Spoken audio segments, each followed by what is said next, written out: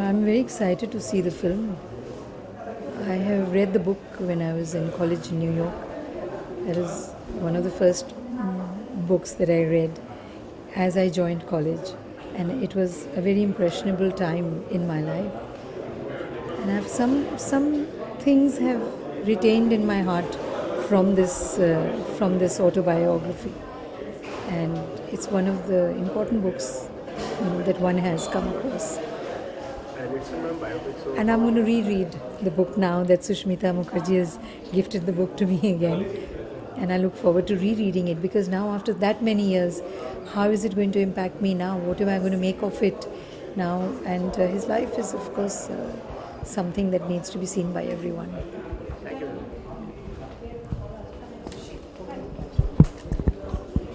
you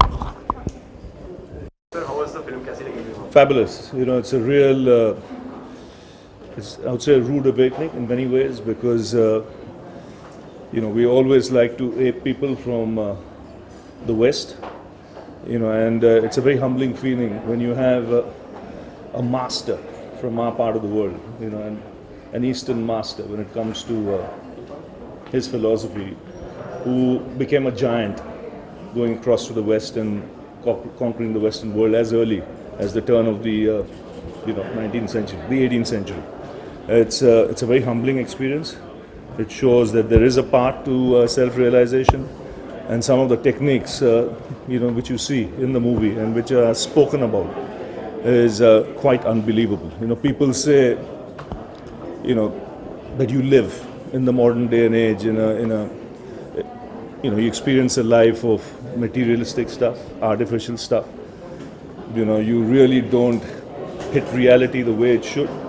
But i'm sure when you when you watch this film you know nothing is impossible. If you can practice those techniques you will realize the path to self realization you know there's also a saying always said live in the now. What is the now? It is reality. When you get, keep getting a reality check, you will know how to live in the now and not think too far ahead, not think too far behind. Well, fantastic movie. No, I thought uh, the best part, which I said later on, was uh, how a man, a human being, you know, just with a relationship, you know, like a guru shishya relationship, you know, through a relationship with his guru, Yukteswarji, could travel that far, you know, single handedly into the United States with nothing in hand, no baggage whatsoever, and then conquer the West just on sheer self belief and uh, the power of self realization. Unbelievable. Thank you.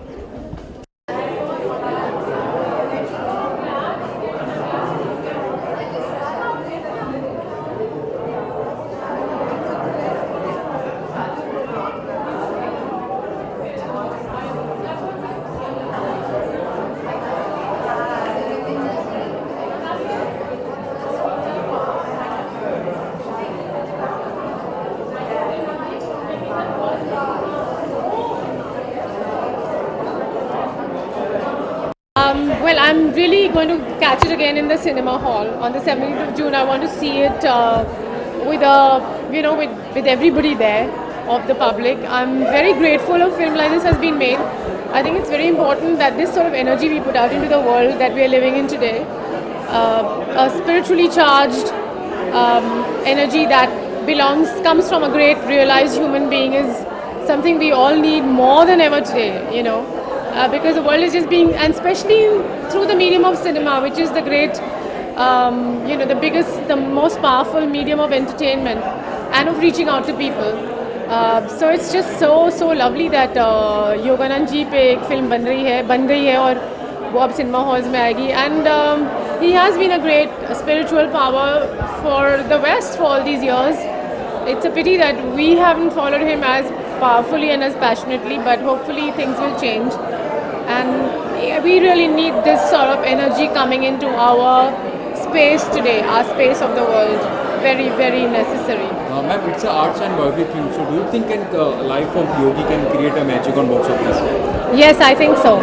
You know, uh, the the interesting thing is that somebody like Steve Jobs used to read the autobiography of a yogi every year, and apparently when he passed away, copies of autobiography of Yogi were distributed to people at his funeral. You know, um, I know a lot of uh, the greatest filmmakers, the most successful Hollywood filmmakers, have studied the autobiography of a yogi like a Bible every year. If nothing, uh, at least people who are commercially inclined, very much in the material world, can realize that there is a balance between materiality and the spirit, and you you can't kill the spirit uh, in search of materi- materiality. Otherwise, that all the richness, riches of the world mean nothing if you're spiritually um, not realized. तो नहीं आप योगा को trend नहीं बोल सकते हैं trend हाँ trend लोग बोलते हैं क्योंकि जो नहीं पत पता फिर को लगता है अरे कुछ खास लोग उसको फॉलो कर रहे हैं तो वो ट्रेंड है लेकिन जो लोग योगा करते हैं उनके लिए वो एक बहुत गहरी आत्मदर्शन है, जिसे कहते हैं अभिमुख होना अपने आप से सम्मुख होना। तो ये ट्रेंड नहीं कह सकते योगा को, जिसने योगा का पथ पकड़ लिया, वो भाग्यशाली है। जिसने नहीं पकड़ा, उसे कुछ जन्म लेने पड़ेंगे समझने के लिए कि मैं कौन हूँ, क्या हूँ, कहाँ से आया और क्यों आया हूँ, और आगे कहाँ जा रहा हूँ।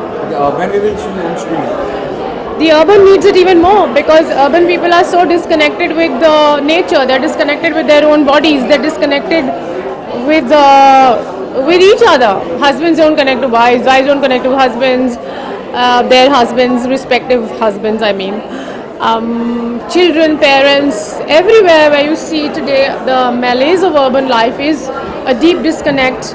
First of all, with yourself, and naturally, when it's with yourself, then you are disconnected with every other human being around you. So I think the urban needs a spiritual um, connect more than people who are, um, you know, happily living closer to nature,